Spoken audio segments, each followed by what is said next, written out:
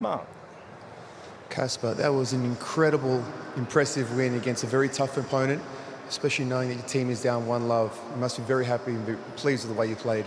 Yeah, uh, thank you. It was uh, another great uh, singles match for me here in Sydney, so very happy to start the year, uh, 1st of January, in this way. You know, Happy New Year to everyone. We had a great time in Sydney last night, so I hope everyone else had a good time, and uh, just motivated to start a new year fresh, and I feel ready.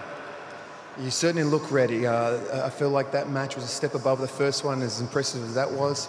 You know, it wasn't going to be an easy match, but are, are you making a slight adjustment? It feels like you're stepping closer to the baseline. And definitely, uh, we know how tough you are and, and, solid you are from the back, but definitely looks like you're looking to take advantage and, and get into the court a little bit more. Is that something that you're focusing on? Yeah, I'm, I'm, trying my best. You know, I'm still, you know, somewhat of a baseline player. I'm never going to be the guy who storms the net and is all over the net, but uh, I'm trying to develop somehow to come a little bit more into the court.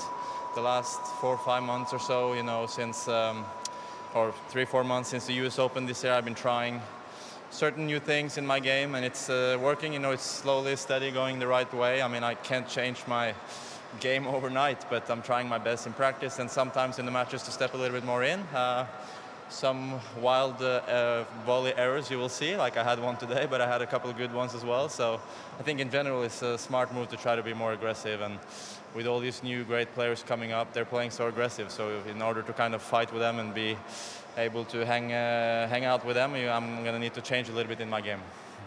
Well, that certainly was impressive, and uh, good luck with the rest of the year. But again, congrats on making a one all and so live mixed doubles. Are we going to see you out in the court again? Yes, I'm coming in uh, 20, 25 minutes again. I'll be back and playing mixed doubles. So hoping to get a win for Team Norway. That would be really fun for us. Fantastic. Good luck and congratulations on a great match. Flip, absolutely correct.